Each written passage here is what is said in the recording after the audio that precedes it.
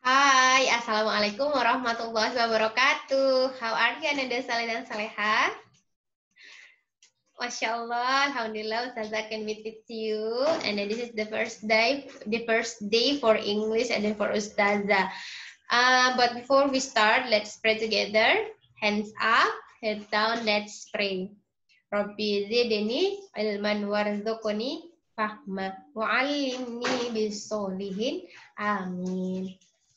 Uh, insya Allah mudah-mudahan uh, Allah senantiasa mudahkan uh, pembelajaran kita hari ini. Ya, uh, anak-anaknya Ustazah, silahkan mengambil bukunya masing-masing dan uh, open your book, unit 6, and then we are going to talk about feelings. Kita akan berbicara tentang feelings atau perasaannya. Uh, Ustazah sudah mengutip hadis riwayat Tirmizi dan Ibnu Hibban. Tabassumuka fi wajahi akhika sodako. Senyum manismu di hadapan saudaramu adalah sodako. Jadi sodako itu tidak mesti harus dengan uang atau dengan barang, tetapi dengan uh, senyuman kepada saudara, kepada sesama, insya Allah itu bernilai sodako pahala di sisi Allah Subhanahu Wa Taala. Jadi mari senantiasa menyebarkan senyuman karena ini adalah pahala yang paling mudah. Ustazah rasa ini adalah pahala yang paling mudah. Ya, Mana senyumnya sama Ustazah? Terima kasih. Nah, next. Here our material for today.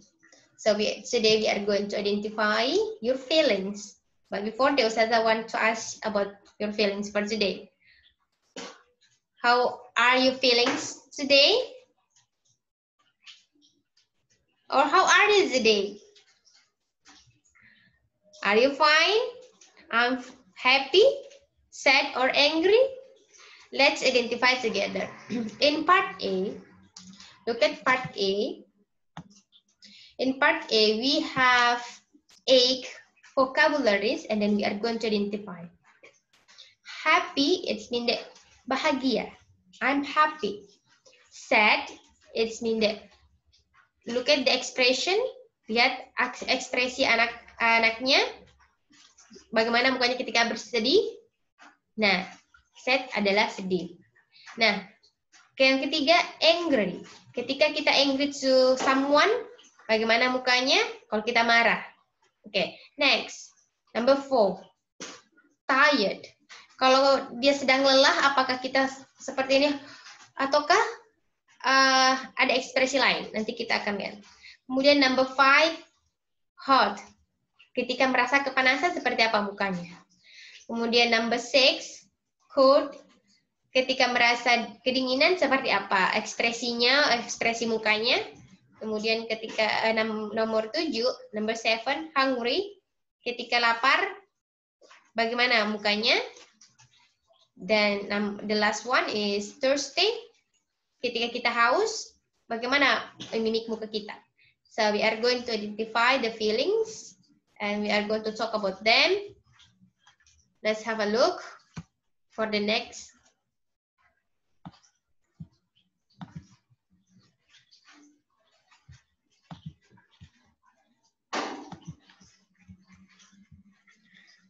Okay, look at the feelings.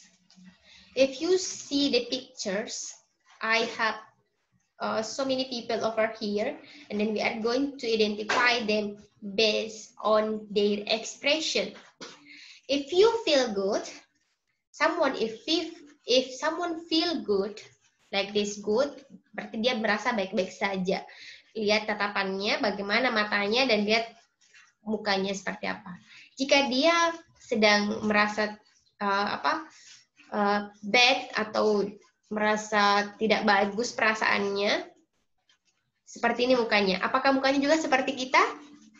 Ustazah goes to Mutiara. Kalau Mutiara marah, bagaimana uh, mukanya? Oke, okay. this one energetic. Oke, okay. jika kita merasa oke, okay. Ada ekspresi muka seperti ini. Oke, okay. oke, okay.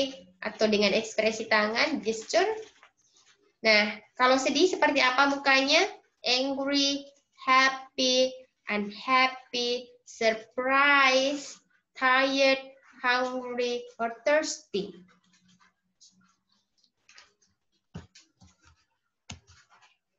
Okay. Uh, we are going to play or pairs game. Kita akan melihat yang mana di sini muka-muka yang sad, happy, tired, or angry. Let's identify. Apakah Ustazah betul atau tidak?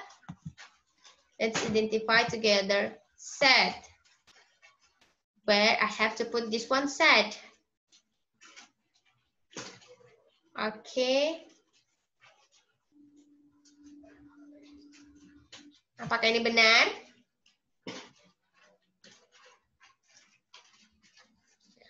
Or happy ke sini? Apakah ini ke sini? Dan angry? Seperti ini mukanya kalau marah? Ya, yeah, this is an emoticon uh, that shows our emotion or our feelings. Ya, yeah? jadi seperti ini. So we are going to identify the next. Okay, this is your worksheet. This is the first worksheet.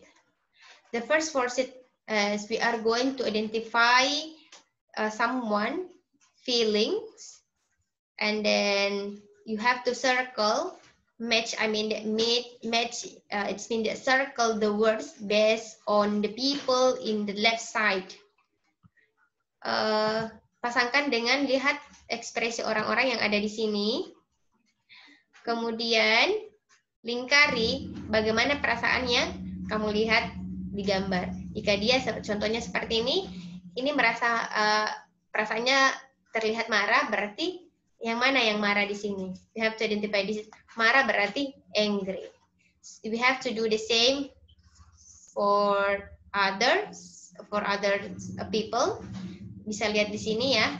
Oke, okay. I think that's all. Thank you so much for your attention.